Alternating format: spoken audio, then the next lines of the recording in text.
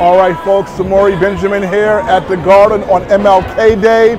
This, of course, is pretty much an annual event here on this day. So many games that you can think of over the years that were played on this day. One game that comes to mind was the game that happened in 93 between the Knicks and the Phoenix Suns. Both teams had the best records in their conferences, and the game went down to the wire. And at the end, Charles Barkley, who was in his first season as the Phoenix Sun that year and also won the MVP of the league that year, at the end of that tight game, Charles Barkley was not happy with a call by the refs at the end.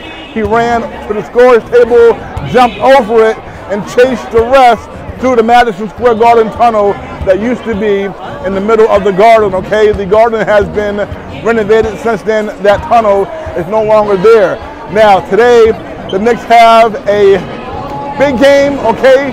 And this also, though, all right, is the beginning of a 14 game stretch where the Knicks play 12 of those 14 games right here at the Garden. And of the two road games during the stretch, one of those games is in Brooklyn at the Barclays Center. So the Knicks will only leave New York City one time over the next 14 games.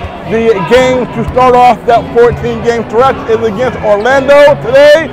Orlando, we know they sent two beloved Knicks, all right, Immanuel Quickley and RJ Barrett out of town because 16 days ago, these two teams met.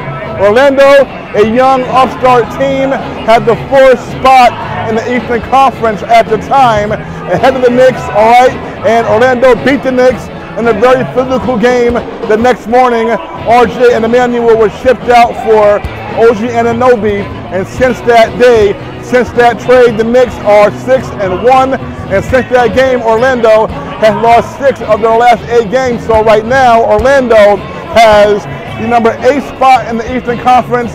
They are two games behind the Knicks. The Knicks are pretty much tied in a five-way deal with five teams for the number four through seven spot, okay? So again, Knicks and Magic here today at the Garden. We're back.